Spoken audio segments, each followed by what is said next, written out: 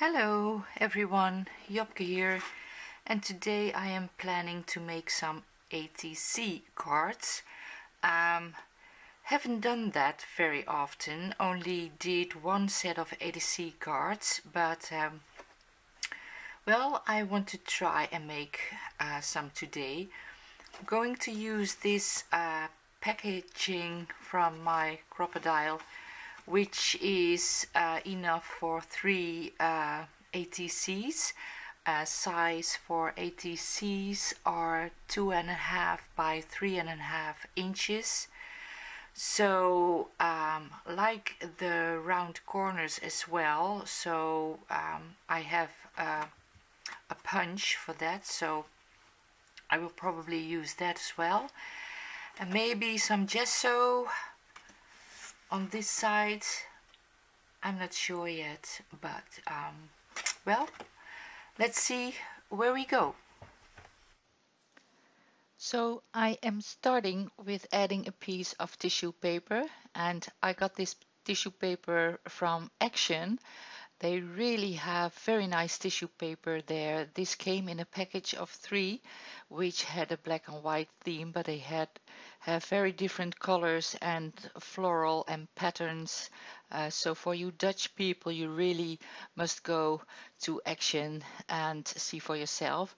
So I'm gluing that down with a Mod Podge and then I am going to spray a bit and this is a spray from Lindy's Stamp Gang and also using some homemade uh, sprays to give this uh, piece of paper some color while the tissue paper uh, will still be visible. And then I'm using an archival ink, the coffee one, to add some stamping and these are stamps from Indigoblu called the ink splats and I thought uh, that would be nice on the surface as well. Um, kind of like a coffee spills or something like that.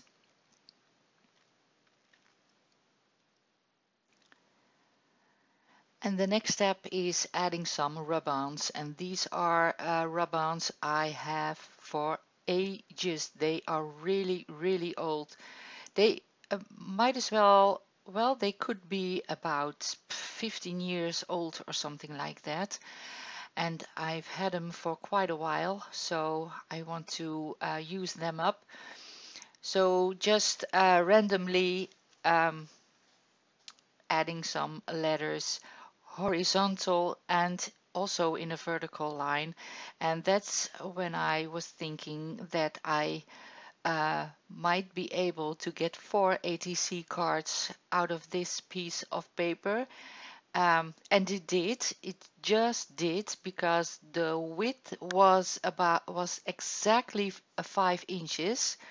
So it was just enough um, to get uh, four ATC cards out of this and I'm using my paper cutter uh, to make sure I have I cut it in a straight line.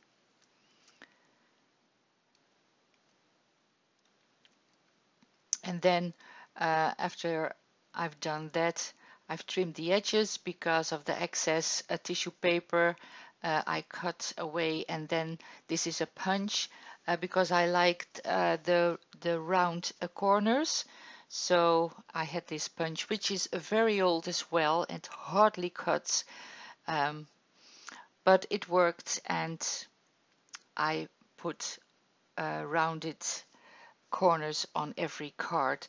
Uh, here you see me adding washi tape, a very thin washi tape, but you see also some corrugated cardboard on uh, on the top um, I decided not to use that. I wanted to try and uh, see if that would work, but I didn't like it, so I got rid of it. Here I am uh, making some white splatters with a homemade acrylic spray paint. And these are some flowers I made for a digital scrapbook kit once. Um, they were they were colored in that uh, kit, uh, but I printed them in black and white. adding a layer of Mod Podge. So it's uh, when, because I wanted to draw with the Posca pens and if you make a mistake and you are um, quick enough before it dries, you can easily wipe it away um, if you uh, added Mod Podge. So outlining the flower and then later on I decided uh, I wanted uh, to have a thicker line uh, so I'm adding more of the black and also uh, using the white Posca pen in a minute to add some dots and a bit more scribbling around the flowers I um, done uh, with all four of them. Here I am making dots with the white Posca marker. And before I glue it all down on my uh, ATC cards, I want to do something on the on the back um, because it is a package of, of my Crop-A-Dile um, there is going to be a little note on the back uh, which says who made the card and uh, the date and uh, a contact, uh, email address and such. But uh, for the edges I needed to do something and I decided to use a black acrylic paint uh, for that.